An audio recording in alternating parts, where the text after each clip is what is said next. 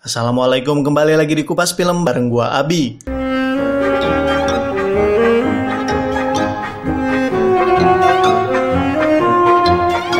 Mike Flanagan adalah sutradara underrated di jagat Hollywood yang akhirnya melakukan pembuktian dengan 10 episode teror yang secara mengejutkan luar biasa. Setelah Oculus yang segar dan Ouija The Origins of Evil yang membanting kualitas film pertamanya yang memalukan, Flanagan kemudian hadir dengan Hush dan Before I Wake yang sebenarnya jauh dari kata buruk namun kentara sekali kekurangan modal. Flanagan juga merupakan sutradara yang warawiri ke studio Warner Bros. hampir setiap hari, putus asa mendapatkan posisi sutradara It yang akhirnya jatuh pada Andy Muschietti.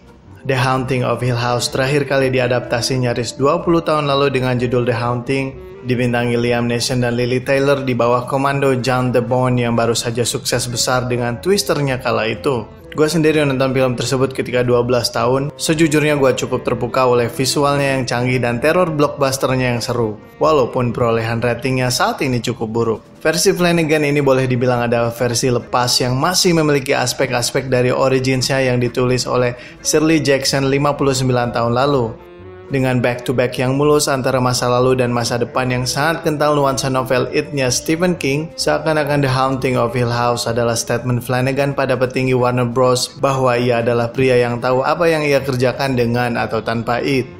Dengan settingan yang jauh lebih sederhana dari Hill House tahun 99, Begitu juga dengan pendekatan sinematografi yang teduh dan lembut, pada awalnya gue cukup ragu serial ini akan berbicara banyak.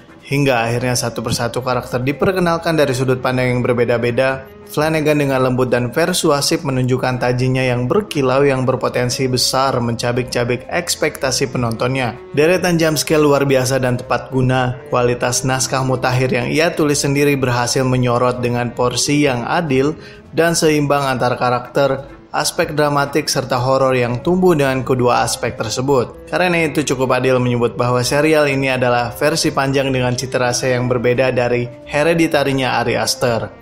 Naskah dan tata produksi yang attention to detail semakin menguat terutama di episode Two Storm dengan sinematografi akrobatik yang akan membuat siapa pun tercengang dan terkesan pada saat yang bersamaan.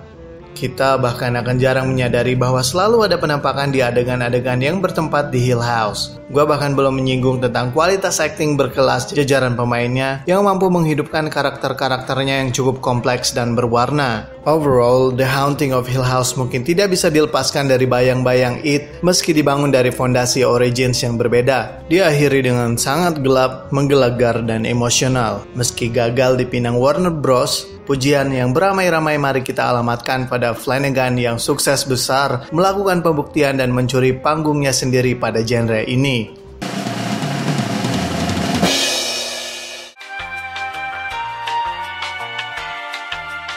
Terima kasih buat teman-teman yang sudah subscribe dan menyalakan tombol bell notifikasi. Luangkan waktu untuk like jika kalian suka video ini, share kepada teman-teman yang membutuhkan informasi semacam ini. Bijaklah selalu dalam memilih tontonan. Kita jumpa lagi di episode kupas film berikutnya. Wassalamualaikum warahmatullahi wabarakatuh.